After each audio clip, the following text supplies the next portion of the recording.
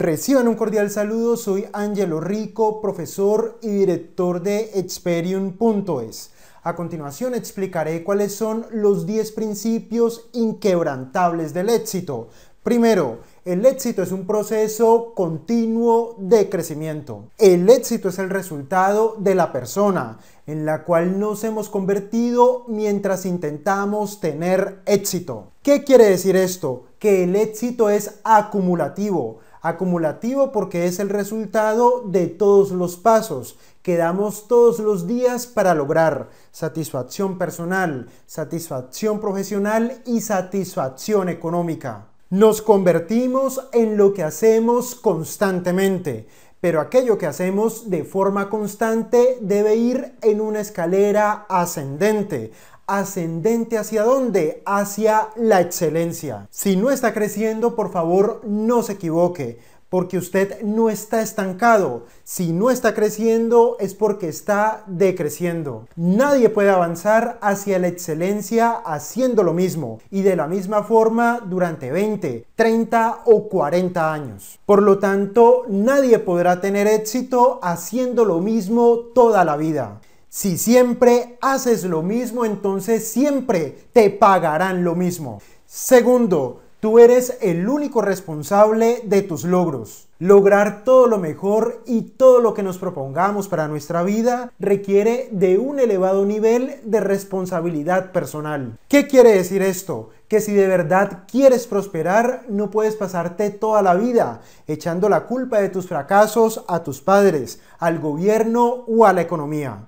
La gente que camina firme hacia sus metas entiende y comprende que es el único responsable de todo lo bueno, pero también de todo lo malo que ocurra con su vida. Nadie puede prosperar posando de víctima o haciéndose el pobrecito. Nadie puede prosperar si su única estrategia es dar pesar. Nadie puede avanzar si lo único que hace es quejarse por todo y de todo. No te quejes Nunca te quejes porque cuando te quejas ahuyentas el éxito. Tercero, para prosperar no tienes que inventar la rueda. Y esto se aplica a los negocios y al desarrollo personal de forma perfecta. En la mayoría de las ocasiones, el éxito solamente consiste en copiar y pegar. Escoge un campo en el que quieras sobresalir y quieres sobresalir en él porque amarás pasarte toda la vida haciéndolo.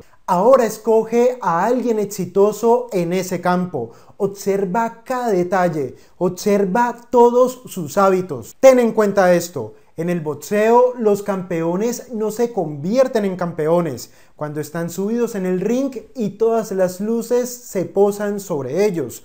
Los campeones realmente se convierten en campeones en la oscuridad de la noche cuando nadie los está viendo, es decir, cuando están entrenando. Escoge a alguien exitoso y copia descaradamente todo lo que hace. Copia todo, sus hábitos, cómo hablan, cómo piensan, cómo hacen lo que hacen, cómo se interrelacionan con otros seres humanos. Recuérdalo por favor, el éxito es copiar y pegar. Cuarto, no hay progreso sin acción. La acción construye, crea, genera más movimiento y por lo tanto genera momentum. ¿Qué es momentum? Momentum es cuando ejecutas de forma repetitiva una acción y lo haces hasta que la rueda comienza a girar por sí misma. Ocurre en los negocios, ocurre en las inversiones y ocurre en la vida. Solo podremos cambiar la dirección de nuestra vida con acción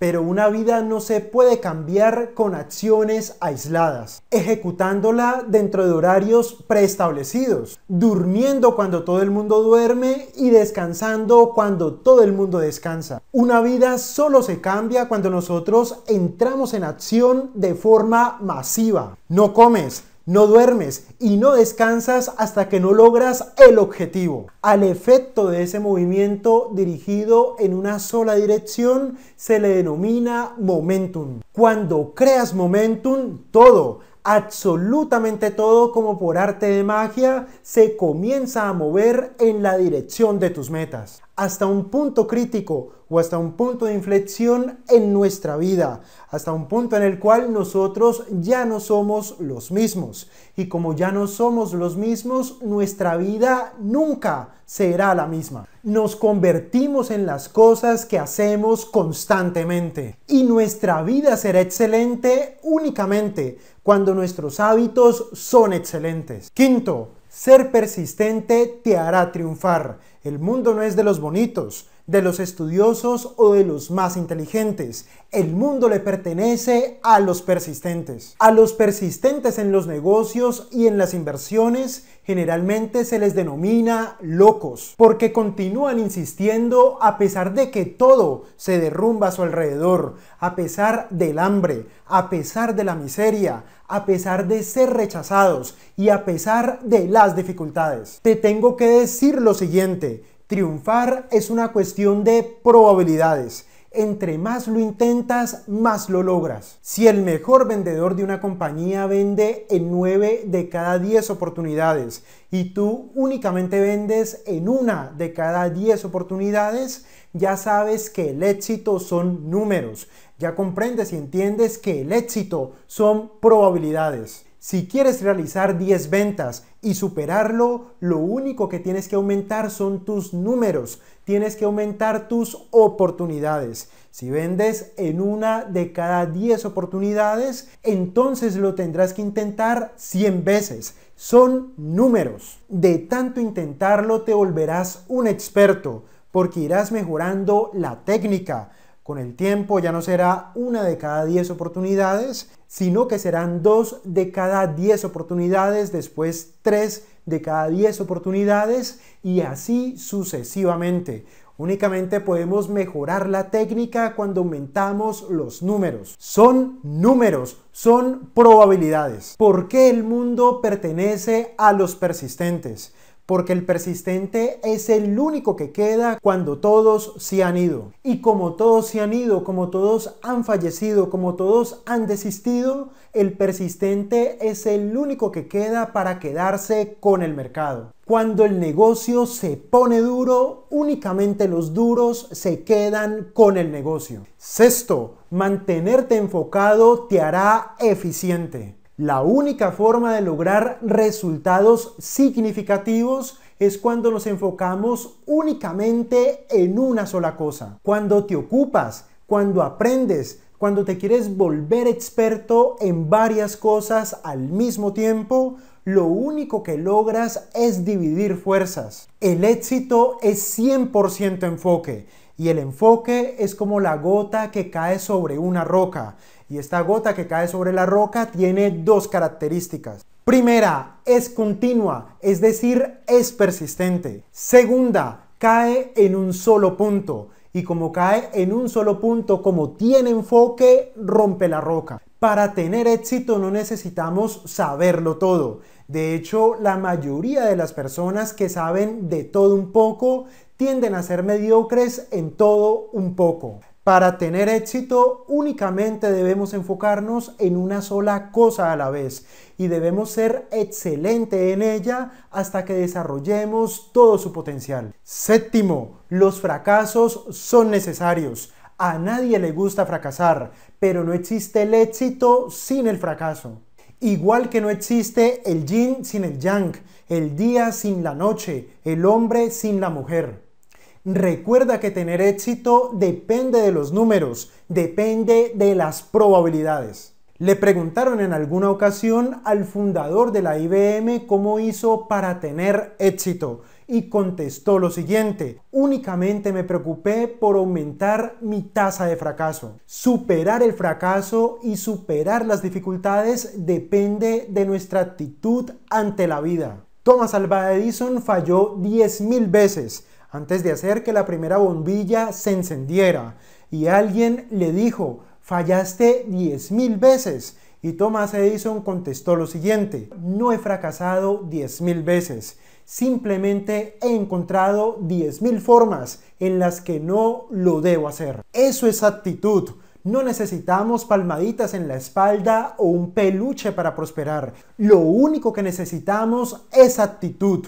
Tu actitud determina tu altitud. Octavo, la positividad es la gasolina de la productividad. ¿Qué es la positividad? Es el sueño, es la meta, la certeza de que va a ser tuyo y como sientes que va a ser tuyo, te comportas ya como si fuera tuyo. Si ganas 800 dólares al mes, pero tu meta es ganar un millón de dólares por año, te debes comportar ya como alguien de un millón de dólares. Tienes que aparecer, tienes que ser, tienes que hablar, tienes que pensar y todo lo que hagas debe ser como lo haría alguien de un millón de dólares y no como alguien promedio que gana 800 dólares. Por lo tanto, la calidad de tu trabajo, la calidad de tu pensamiento, la calidad de lo que hablas y la calidad de lo que haces es lo de alguien que gana un millón de dólares. Lo que nos hace positivos y productivos es el sueño, es la meta. Tenemos que vivir en función de nuestras metas. Noveno, siempre tienes que creer que puedes. No necesitamos que nadie crea en nosotros.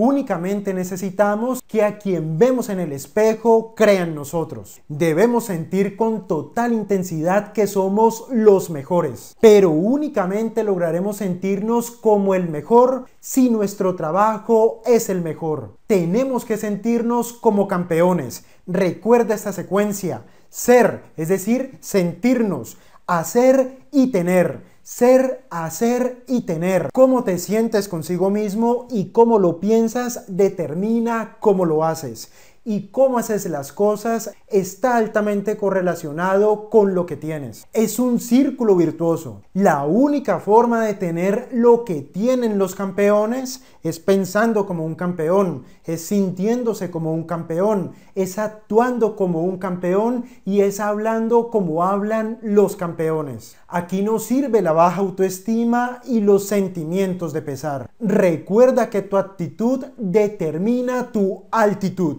Y para terminar, décimo, la gente exitosa siempre encuentra la forma de ayudar a los demás. Debemos devolverle a la vida de forma generosa aquello que nos ha compartido. El dinero, al igual que el agua, si no circula, se pudre. Nadie nunca ha logrado grandes cosas sin la ayuda de los demás, sin la ayuda de padres, de hermanos, de familia, de amigos, de pareja o incluso de desconocidos. Puede ser que en muchas ocasiones no hayamos recibido ayuda de las personas que esperábamos, pero puede ser también que hayamos recibido ayuda de las personas que no esperábamos. La razón más noble que podríamos tener para prosperar es porque queremos dejar un mundo mejor que el que hemos encontrado. El mundo no se transforma con buenas intenciones, el mundo se transforma con actos. Debemos aprender a donar dinero,